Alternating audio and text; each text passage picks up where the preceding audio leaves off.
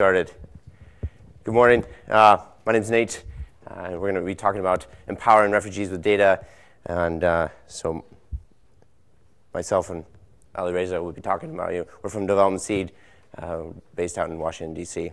So, one, one thing that we've been commonly uh, see and are asked is how can we collect, oh, hang on, collect data remote's not working. How we can collect data, verify, uh, and publish. So collect, collect data from a, num numerous, you know, whether you have a trusted network of uh, data collectors, volunteers, whether you have a, a you want to crowdsource, crowdsource a bunch of, this is my, I'm going to just turn this off get rid of this thing. I'll just talk loud. All right, so common scenario that we see, you, people want to collect uh, data with a trusted network or crowdsource a whole bunch of reports about an event uh, or uh, something that's happening in an area. They then want to verify or have some type of verification workflow uh, to be able to, to track those, those reports. And then lastly, you want to be, uh, a, a group may want to publish that data and uh, allow people to visualize, throw it up on a map, uh, be able to uh, kind of grab some simple uh, visualizations to start to compare and invite uh, a little bit more analysis into the data. So the question is, like, we, we recently started working with a partner on this, and uh, we asked the question, oh, oh, is there, are, are there open source? There's a lot of mobile tools out there. There's a lot of systems and platforms that that can, can do this. What we're, we're going to talk about today is a bit of our experience is that there's not a lot to, out there that, that's really easy to do. There's some difficulties, there's shortcomings, and so we're going to talk a little bit today, uh, just our experience in, in Lebanon. So in, in Lebanon, it's a small country in the Middle East that uh, borders one of the uh, biggest conflicts in the last uh, few years uh, in Syria. And so uh, they have over 1 million refugees in Lebanon alone. The whole region has over, over 4 million refugees. But that, of that 1 million, a lot of, you know, those aren't new refugees. Many of them are Palestinian refugees living in, in camps uh, or communities across Lebanon. And so we've been working with a partner uh, called Pursue, who've been working in 12 Palestinian uh, refugee camps across Lebanon. These, all these camps are, you know, from, from out west, uh, or sorry, on the west, in, like in urban areas like Beirut to out east that border Syria, the north and the south bordering Israel and uh, uh, northern part of Syria as well. But these camps, so these camps are, are, are really actually communities. Some of them are permanent housing. Some of them are uh, you know, uh, you know, in rural areas. Some of them are in urban areas, right on the coast. And and so within these camps, you like they're they're, they're communities. They need government services. They need uh, access to things like waste management, healthcare, electricity, water, health, education. All these these these these key parts of the community that allow uh, people to, um, to live, live their life. So we, uh, working with Pursue, we started looking into this, this workflow of publishing, verifying, uh, or collecting, verifying, and publishing uh, government services in 12, 12 uh, camps uh, across Lebanon. So what they want to do is they wanted to, to in each camp, have a team of their volunteers go out, collect reports about uh, the status of electricity, uh, whether we have water is, is working or not. Um, are uh, doctors uh, occupying health clinics and can we, are they open? Can we go and visit them? And, um, and so they wanted to start not only comparing them in one camp, but all 12 camps and have teams of volunteers in, within each camp. So they wanted to collect a lot of data. Then they wanted to verify this data. So they had not their own staff, but they had volunteers within each of these camps. So th- while they are trusted, their trusted network, they also wanted to have some type of verification to understand, okay, if this report is coming in that my electricity is out in a certain neighborhood in one of these communities, do they have a, somewhat of a workflow to, to track, follow up, verify, or you know whether this is true or verify this false, and be able to start collect this data, uh, uh, you know, across all the camps. And then lastly, they wanted to publish this data uh, and advocate and help empower these communities to understand what is the, the quality and level of government services within these camps. So they wanted to put on some simple visualizations. They wanted to put it on a map to see the difference between the north and the south. And, and so they started having volunteers simply pull up their iPhone and enter, click on, I want to actually report an electricity outage. So I can simply go to my mobile form, fill out when, where, uh, and uh, more details about what's happening. Then back at headquarters at Pursue, they have a team of uh, volunteers who can go through a verification workflow, pull up, uh, see all the different, uh, different types of uh, reports that are coming in re- regarding water, regarding health, electricity, be able to then go into an individual report and say, okay, great, here's, this is, uh, this is a report we're seeing, this is verified true because I followed up with them. Um, but it's not just like having the ability to go to one report, it's about having some type of a UI to switch in and triage hundreds of reports that are coming in. And I, think that's the, that's the key here is that being it, having you know, uh, a lot of reports coming in, you need to be able to handle that in a, in a smart way to be able to say, this is verified or this is unverified. So after, after verifying, uh, then uh, we can publish these results and start to visualize these on a map. So we can see all, all 12 camps at once, see the total aggregate of reports, and get the breakdown of, you know, what are, what are, where are a lot of reports uh, coming from, and what type of reports are being, uh, being you know, uh, re uh, recorded. So we can get a breakdown, see uh, the difference between electricity and water reports. We can click on and go directly into a single camp uh, and see the neighborhoods with, across that district. We can go uh, from you know, one camp to another camp and be able to dive right in and see, see, see the breakdown of, of, of the reports. Then they can uh, click on the individual reports and be able to see like you know the difference between verified and unverified, and then be able to uh, kick out a full report of, of a community or uh, and and get more aggregated data. So if you're collecting for over a month, then going to the electricity provider in this, this area or going to the water provider or going into the, the health uh, the, all the different health cl uh, clinics if there's a significant issue uh, that they're starting to see. So this workflow that they have is, is helping them collect, gather that data, gather insight, be able to analyze some of this, and then use that to uh, uh, you know, advocate on, on, on their behalf. And, and so this, this project, we just uh, kicked this off, and, um, and I, I think this, this, this you know, entire uh, application that we've built has really given us a little bit of insight of what is it like to do this in a low-cost, open source way. And so I'm going to uh, ask Alireza to give us a bit more of like how we did this. This is a little bit of the higher level, like here's what's happening, um, and then let's, so let's dive into some of the technical details.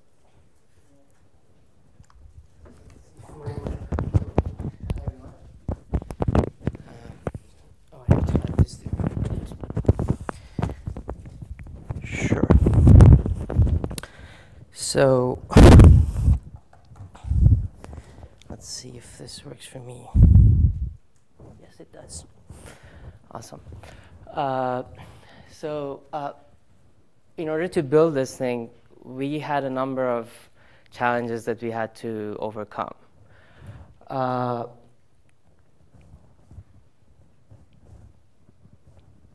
not working anymore. All right. So uh, we wanted to make sure that whatever we are building, first of all, is very easy to use because it had to cater to a large group of people. I mean, from the people who were going to design the surveys, from people who were going to monitor it, verify it, deploy it, and also the people who were going to use it. Uh, also, it was important for us that it would be accessible on mobile phones as well as on, on web browsers. Uh, we wanted to make sure that a variety of platforms can be used uh, so it has the highest access. The original idea of our client Pursue was to have an app on iPhone, but we advised them against it. Not everyone, for example, has an iPhone. It has a, a higher cost of building an iOS app, and the maintenance is difficult. Maybe there are people who see something and want to go home, sit by computer, and report it, etc. So it, uh, we advised against it, and we wanted to make sure that it's a tool that can be accessed on every platform. It was also very important for our client and for ourselves that whatever we built can be handed over to local actors. Uh, because this project that they are doing has an end date, and then their, their goal is to make it sustainable by giving it to local NGOs, etc. Which meant whatever we wanted to do is supposed to be easy to maintain. So there is not a lot of costs associated with maintaining it, and also there shouldn't be a lot of costs associated with having the technology altogether. Uh, for example, I mean, right now there are many tools for creating surveys and collecting data from Survey Gizmo to uh, to other companies, but the problem with them is that many of them have ongoing costs that, especially if you want to use uh, apps on mobile, etc., it would it would it could be a lot more than what a local NGO can afford. And of course, we are committed to open source. We were very interested to do this in an open source fashion. Fortunately, there is a very good ecosystem to do this already. Uh, our goal was to try to find tools that can fill these three questions. We wanted to have tools for collecting the data. Then we wanted to have other tools for verifying that data. And then have the ability to publish it for the public and for the people who were supposed to act on that data. Uh, for data collection, uh, we decided to use the ODK ecosystem which has a number of components. Let me press the space again. yes, the ODK uh, ecosystem that uh, there are a lot of components associated with it. Uh, I'm not sure if anyone here has ever used ODK or has heard about it. Oh, a, few people. Uh, so essentially, ODK um, is built on top of a number of standards. One of them is something that is called XForm, which is essentially kind of a markup XML format for transporting data. And, and, and it's used for building the questionnaire, the survey, and also uh, transmitting the data associated with each question. Uh, it has a number of basically players that use this ecosystem for transmitting the data. One of them is this tool called ODK Collect. ODK Collect is an Android app. Uh, if you go to Play Store and if you have an Android, you can download it. Uh, what it does is that it can read any X form uh, from a, an XForm provider, which would be a server. And then it turns it into uh, basically a number of questions that have the different types. It could be a multiple choice question, a question with uh, an input. It could be a geolocation. It could be an image. All sort of questions that you create in form of a survey. Then individuals can use this ODK collect to answer those questions and then send it back uh, to the server that it was received from. Uh, that server where the questions is stored on and can basically the question can be retrieved from it and then the responses can be sent to it. There are a number of ways for doing that. The most common uh, setup that is uh, used in this ODK uh, environment is called FormHub. for FormHub is, a, is essentially a Django application. It's written in Python, and Django is a web application that you can install it on your server and platform and put your surveys there, and then it can be connected to an ODK collect uh, for, uh, for answering a survey. There is another uh, component here called Enketo. Enketo is essentially very similar to ODK collect, but this is a web-based, basically, uh, form. What it does is that it reads the X form standard, and then it generates the questions inside your browser. And, and it's fully uh, basically mobile friendly. So if you, if you open an Enketo, Enketo form on a mobile phone, it adjusts everything is responsive. If you open it on a web browser, uh, then it adjusts to the size of your screen. Uh, we use these three things to do our data collection. Uh, and it was uh, one of the reasons that we use it was that it's actually very easy to create this process for someone who is not necessarily familiar with these pieces. All they have to learn is to basically figure out something that is called XLS form, which essentially allow you to create a full survey, a very actually complicated survey with all sort of questions, all sort of question types, uh, and also with different flows. For example, if you want to go from question one to question five, depending on the answer, etc., you can build all of that in an Excel document.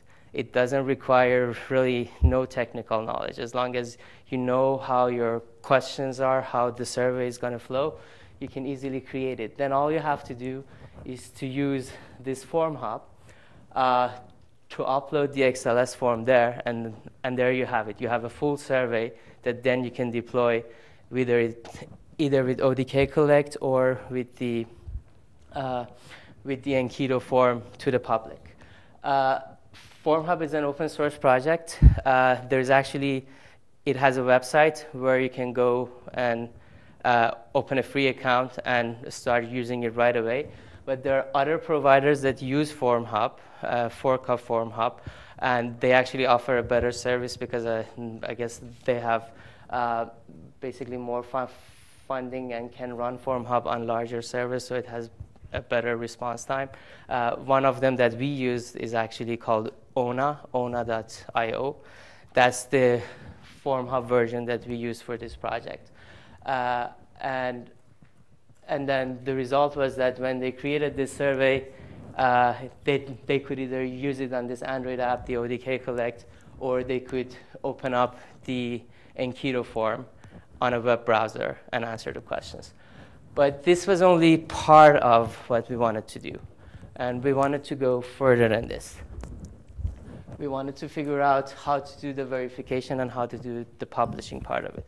Uh, unfortunately, on FormHub, all it allows you to do is to create a survey, uh, put it out. When people fill it out, all the results are going to be recorded there. You, you can browse around, you can download the data, uh, but that's about it. It's really mostly designed for people who need the raw data and then they know how to use the raw data afterward. Uh, so we had to find a way to figure out how to do the verification and, uh, and how to do the pub publishing. And we wanted to make sure that this thing remains a low cost open source solution. Uh, and that's how we come up with this design. Uh, so the top part is essentially what I described. You have the Form Hub, you have the ODK and Enketo, and they communicate with each other with the Form Hub API that is out there. What we did, which was new, was this verification platform here, which is essentially another, uh, I mean, we build this with Django again, uh, but I mean, you can build it with any sort of framework. We build it in Django and Python. It communicates with FormHub API, and it's actually one-way communication, meaning that we only query FormHub. FormHub never contacts our platform. Uh, and all it does is that it grabs all the responses that are being sent to FormHub all the time and store it in our verification platform. Uh, FormHub also has a very great feature, and that is whenever there is a response coming to FormHub for a survey, it can immediately send it to uh, another address that you define, in this case, our verification platform. So it's kind of a live flow that is happening. I mean, we don't need to query FormHub all the time to see if there are new responses. If a new response arrives to FormHub, it immediately uh, gets rerouted to our verification platform. It also has a number of other uh, good uses. One is that uh, we kind of house our data outside of FormHub in a separate database with our own design, the way that we want it. So we have kind of more confidence in the integrity of the data that we are storing. Uh, and then we wanted to build a front end, a map with charts uh, and different views, and we wanted to uh, build a very beautiful, basically, uh, visualization. And for that, we needed to have access to data in various ways. If we didn't have this verification platform in between, we had to directly communicate with FormHub API. And that FormHub API is very limited. It doesn't really give you the ability to play with the data in a way that it would be uh, useful. So we had to build our own API. We actually built a very robust API for our verification platform that allow you to uh, query the data in all sort of ways. It uh, give you the camp dimension, the neighborhood dimension. It allows you to query it by dates, to query it by uh, other factors. Uh, and, and of course, because it was our own work, we were able to optimize it as much as we can so it would be responsive to a large amount of traffics. Also, in terms of the cost, which was really important for us, the only thing that our client has to really maintain in the future is this part. Uh, this whole thing above is run on other people's infrastructure. For the Form Hub, I told you we use Ona, and it actually allows you to have free accounts there. So we don't need to worry about where we run our own, uh, how we maintain it, how we update it. ODK is an Android app, so it's not our concern. Enketo we use the Enketo website for creating the forms, and again, they have a free service that allow you to have forms. So this whole thing above is third-party services.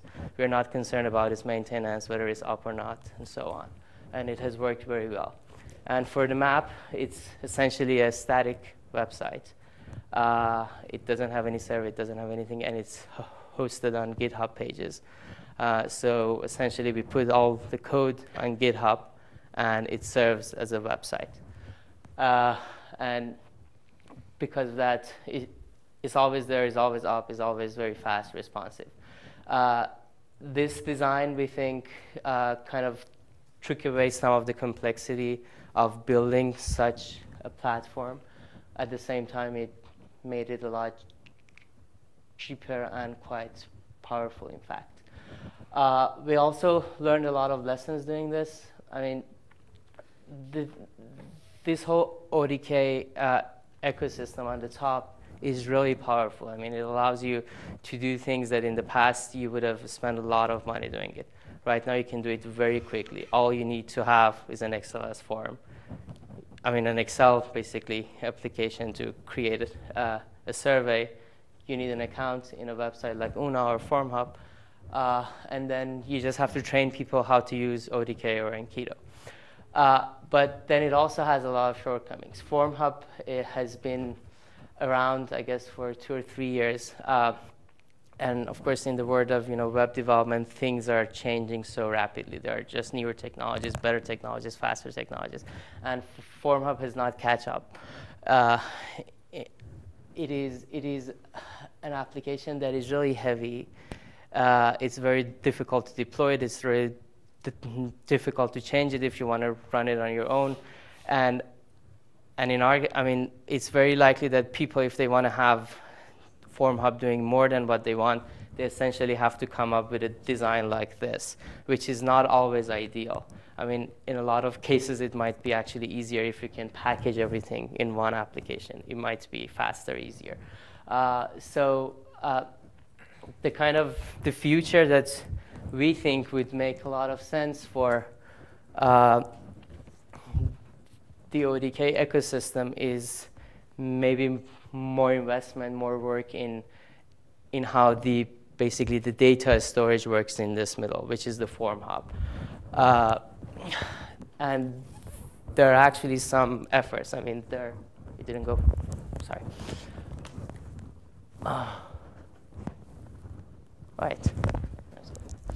Uh, the, there are some efforts. I mean, uh, for example, we heard from uh, a friend of ours uh, that uh, they are working, for example, on a no form hub scenario where uh, they have built a little app that allow you to basically store all the data that is collected through ODK collect in a static form on a GitHub repo rather than having any sort of server.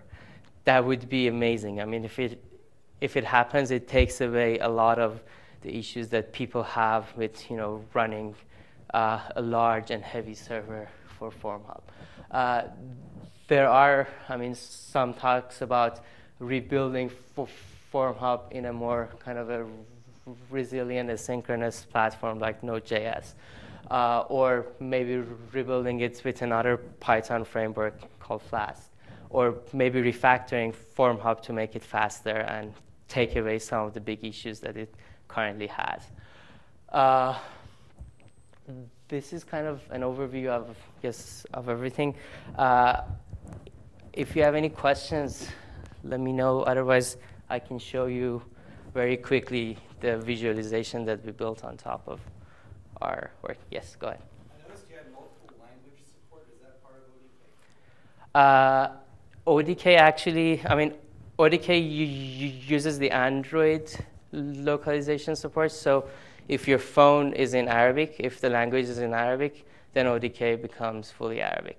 And actually, yeah, it had, I mean, I guess ODK uh, localization files are hosted on Transifex and it's open and a lot of people go and add languages to it. And it already has a good amount of Arabic and French, I believe, and Spanish. Uh, so if your phone has a different language, everything appears in that language.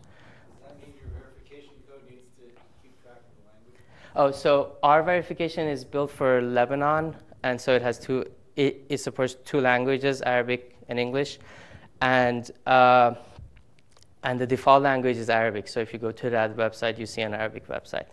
Uh, and then in in the XLS form, that Excel file, you can have as many labels in as many languages you want for each question.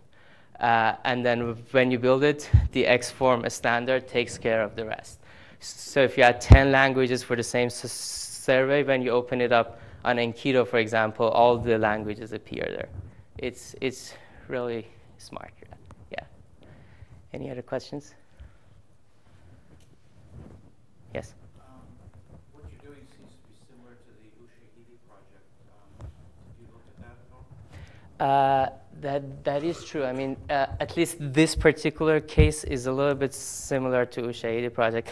But I guess what is different is uh, really the ability of this system to have, you know, very complex surveys.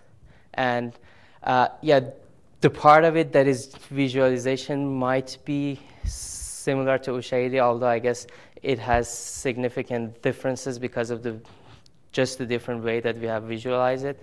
But on the data collection side, I think it's very different from Ushahidi because uh, we are, I mean,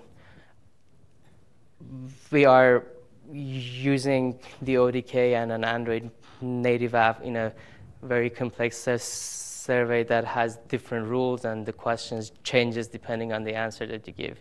I don't think you, you can build that with Ushahidi unless you want to heavily change it, which would be a big project. Yes?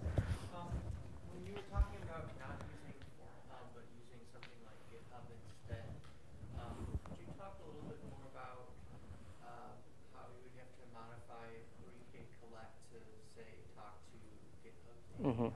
Uh, so uh, the idea is really actually let me go back to this slide so I can yes. So uh, the idea is really not to change that ODK. ODK is a is a separate stack, so we don't want to change it at all. The ODK collect. We also don't want to change Enketo or any of those collection tools. They are separate stacks, separate languages. Enketo is written, I mean, it used to be written with PHP, now it's Node. ODK is Java and Android. So we, we don't want to change those stacks, but what we have is this Xform standard. We know that how to communicate with them. The idea of that static form of basically no server in the middle is kind of inaccurate. I mean, I have to say it differently. There, there would be a server in the middle, but it would be a very small server, and all it does is that uh, when it receives data from ODK, it just writes it to a GitHub repository.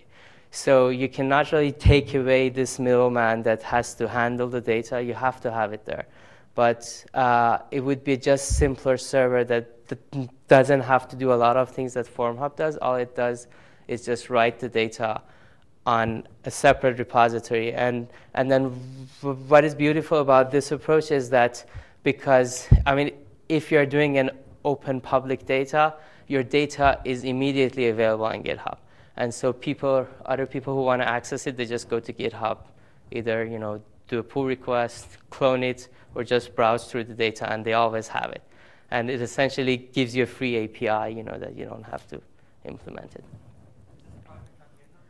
Uh, so this one is called, what was the address? It was called Simple ODK, I guess. The, the, yeah. The non-form one? Yeah. Yeah, it's, yeah, I guess it's simple-odk.com or something. That's the address of the if project. If anyone's interested in talking about this more, go to this next session with um, uh, American Red Cross, uh, talking about map kit, as well as we're going to have a birds of a feather session later today. We'll post on the board, um, and we'd love to have you come uh, talk about this one. I think we're over time. Are we? Thanks no. for coming. Oh, we have two more minutes. Okay. Oh, okay. So we can ask uh, a couple more questions. Yes. So it seems like the verification is a big part of this. Um, in your experience, have you seen, are there thing, are there many reports that are not able to be verified, and is there any kind of trend in what's going on there?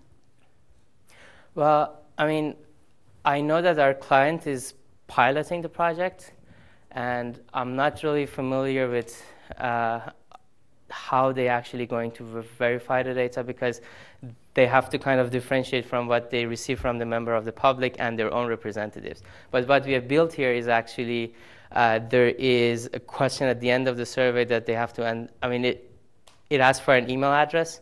And then on the verification platform, we have built this algorithm that if an email address matches one of the representatives, then it flags as that representative's report on the ground. And so those reports are automatically counted as like verified because they are coming from trusted sources. And right now, I think they're piloting this the survey and, and you know, tweak the, the, questions that they ask that will then help them verify. Yeah. Hopefully, hopefully you won't have to do Yeah. Yeah.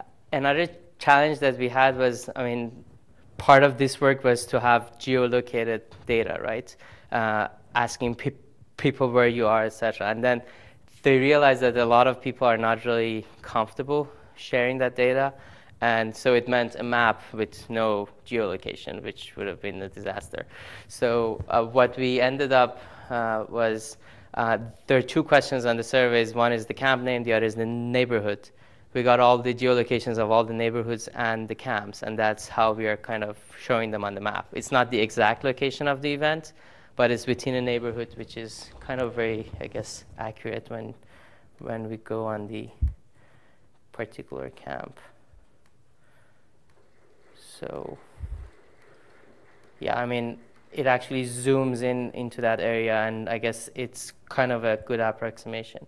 Uh, another thing that we added was this ability to download all the data in CSV format. So all the data for each camp, everything else, you can download it you can view them as a list, although this is just showing one camp. So you can view them as a list. You can filter them based on, you know, the type of the report, and then you can uh, view the questions. Although this, I guess, has a problem with the Safari browser. Anyway, and then of course, it's dual languages. Uh, th this was another challenge. I mean, if if you wanted to use FormHub, it, it was difficult to have an interface that is completely localized to another language. but having our own verification platform allowed us to do that very easily. Okay, I guess time's up. That's it. Thank you.